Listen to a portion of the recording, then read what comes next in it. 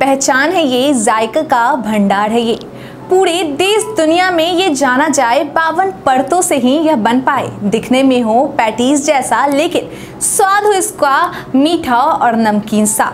कईयों का यह पुस्तैनी काम इसी से बढ़ाए वे दुनिया में बिहार का नाम। चलिए अब देते हैं इसका परिचय, जिसे सुन आप भी करेंगे इसे खाने का निश्चय।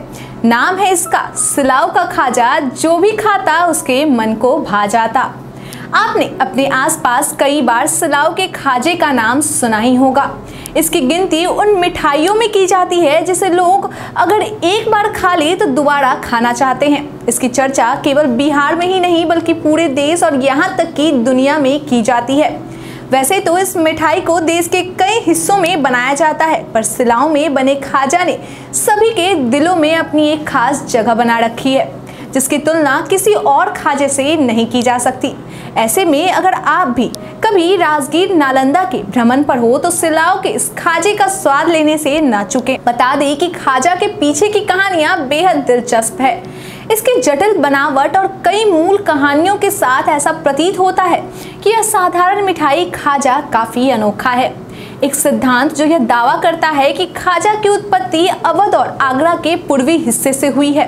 ऐसा ही एक अन्य सिद्धांत है जो इस बात पर ज़ोर देता है कि यह मौर्य वंश के दौरान सिलाव नामक एक छोटे से गाँव में उत्पन्न हुआ था, जो वर्तमान बिहार के प्राचीन शहर मिथिला और नालंदा के बीच स्थित है।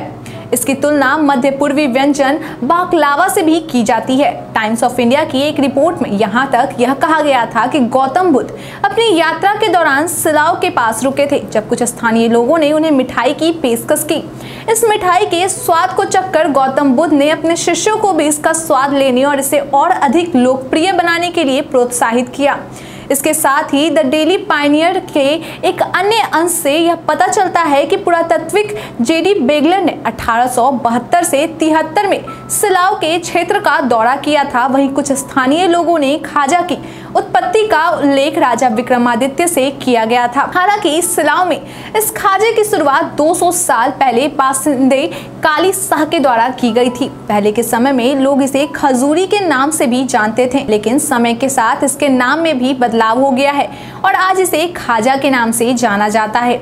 200 साल बीत गए, लेकिन आज तक इसके स्वाद में कोई फ़र्क नहीं आया। आज के समय में यह काम उनकी चौथी पीढ़ी के द्वारा संभाला जा रहा है। बता दें कि अब तक सिलाओ में काली शाह के नाम से छह दुकानें हैं। इनके परिवार में सबसे खास बात यह है कि आज तक इनके परिवार से कोई बाहर नहीं गया है, लेकिन खाजा को ज़रूर बाहर तक पहुँचाया है। सिलाओ के खाजा को इंटरनेशनल पहचान दिलाने में काली शाह खाजा दुकान के संचालक संजीव कुमार का अहम रोल है। संजीव कुमार का कहना है कि उनकी बहाली दरोगा में हो गई थी, लेकिन उन्होंने अपने पूर्वज के काम को करना सही समझा और इसे ही आगे बढ़ाने का निश्चय किया।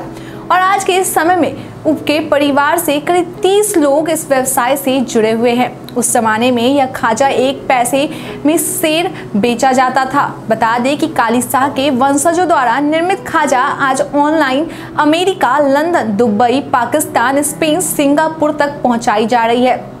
आपको बता दें कि सिलाव में बनाए गए खाजे का प्रदर्शन 1986 में अपना महोत्सव नई दिल्ली में हुआ था, जिसके बाद काली शाह के वंशज संजय कुमार को उन्नीस सौ सतासी में मॉरिसस जाने का मौका मिला, जहाँ सांग महोत्सव में मिठाई में खाजा को सर्वश्रेष्ठ मिठाई का दर्जा मिला।